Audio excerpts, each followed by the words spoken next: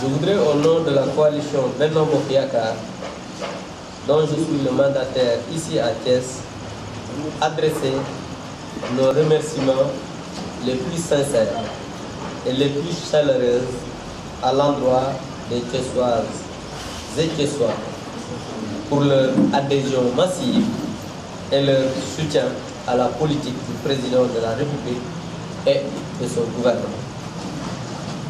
Ceci s'est confirmé par la large majorité qu'on a donnée au président de la République lors de ces élections législatives.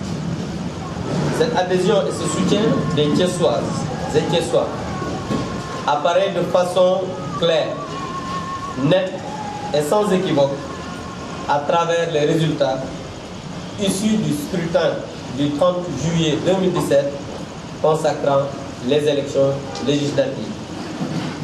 Dans un contexte marqué par une opposition qui n'a que l'injure et la calomnie à la bouche, une opposition dont certaines de ces figures de proue affirmaient avec une désenvolture mal cachée que Thiès, Guédiawaye, Dakar constituaient leur bastion imprenable.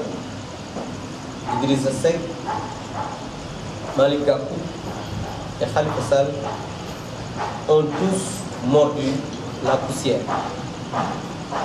Il était important pour les Thiessois de marquer pour leur préférence pour le camp du président de la République. C'est ce que disent les chiffres suivants. Lors de la proclamation des résultats provisoires par la Commission nationale de recensement des votes du département de Thiès, Benno Bokoyota Yakar a obtenu 80 335 voix. Manko Tahaou Sénégal, 51 955 voix. Coalition gagnante Ouattou Sénégal, 19 892 voix. Puis 13 573 voix. Et les autres coalitions viennent après, parce qu'il y a eu 47 coalitions. Vous avez sûrement les résultats proclamés par la commission départementale de recensement des voix. Tel est le verdict implacable sorti des urnes. Mais ce verdict des urnes, au-delà de la confiance encore apportée à la coalition Benoît Bokiaka, au-delà de la matérialisation de l'adhésion des Thiessoises et Thiessois à la politique du président Macky Sall, sonne aussi comme une déroute cinglante pour Idrissa Seck et ses coalitions. Mais cela n'est pas surprenant pour quelqu'un qui semble être abonné à débat électoral successifs depuis quelques années. Idriss Seck voit aujourd'hui encore son électorat s'effriter, se disloquer et migrer vers d'autres horizons où l'offre politique est réaliste, efficace et fondée sur l'égalité des chances et la poursuite de l'intérêt supérieur de la nation.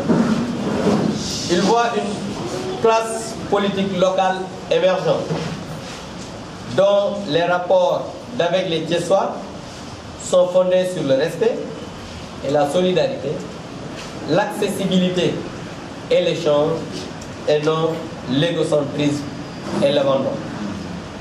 Aujourd'hui encore, la réalité nue et têtue impose à Idrissa Seck une profonde remise en cause dont l'acte premier serait de quitter, je dis bien quitter, la présidence du conseil départemental parce que vomi et honni par l'écrasante majorité des Thiessois. Nous renouvelons encore, une fois de plus, notre reconnaissance et notre gratitude aux populations thiessoises de la ville comme du département d'avoir bien voulu plébisciter la liste de la coalition Benno Bokyaka.